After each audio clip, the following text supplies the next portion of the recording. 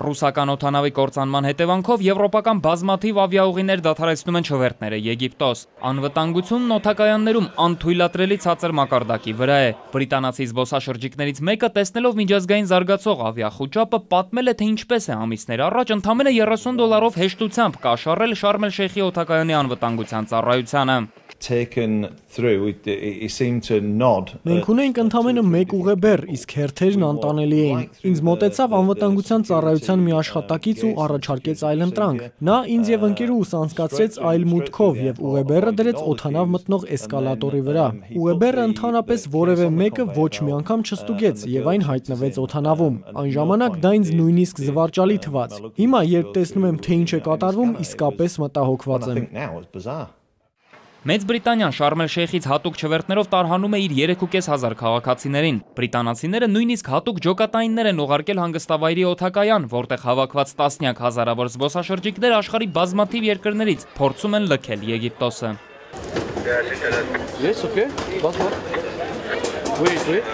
Я уже не могу ждать. Okay, билеты? Մանրակրկիտ ստուգումներ անցնելուց հետո հատուկ չվերթներով եւ առանց ուղեբեռների հայրենիք են վերադառնում նաեւ ռուսաստանցիները։ Նրանց թիվը գերազանցում է 80000-ը։ Նախագահ Վլադիմիր Պուտինը հետևելով եվրոպական երկրների օրինակին նույնպես կարգադրել է դադարեցնել չվերթները Եգիպտոս, երբ լսել է հակահաբեկչական կոմիտեի զեկույցը անցած շաբաթ կործանված ռուսական օթանավի վերաբերյալ։ Ստեղծվել է հատուկ շտաբ, որը կազմակերպում է քաղաքացիների վերադարձը։ До тех пор, пока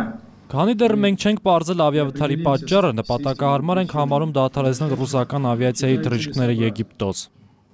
приостановить Ավիավթարի պատճառը դեռ անհայտ է, բայց ահաբեկչության վարկածը չի բացառվում։ Միջազգային լրատվամիջոցները հայտնում են, որ սև արկղերից մեկը ձայնագրել է պայթյունի ձայն։ Ավելին տարածվել է տեղեկություն, որ զոհերի մի մասը մահացել է հենց պայթյունի հետևանքով։ Իսկ ամերիկյան հետախուզությունը վերցանել է ահաբեկիչների հեռախոսազրույցներից մեկը ու ենթադրել, որ իսլամական պետության զինյալները քննարկել են հենց ռուսական օթանավի կործանումը դրանից մի քանի օր առաջ։ Միջազգային խոճապի վերածվող ավիաողբերգությունը, որի վրա այսօր սևեռված է բոլորի ուշադրությունը, սկանդալային Շարլի Hebdo պարբերականի համար դարձել է կոմերցիոն հնարավորություն։ Հունվարին ահաբեկիչների կողմից սպանդի ենթարկված ու ամբողջ աշխարհին իր շուրջը միավորած երգիծաթերթը ծաղրել է կործանված օթանավի ուղևորներին, ասելով, որ դա ընդամենը նորությունները մեկնաբանելու յուրօրինակ ձև է։ Դավիթ Սարգսյան, ժամը լրատվական։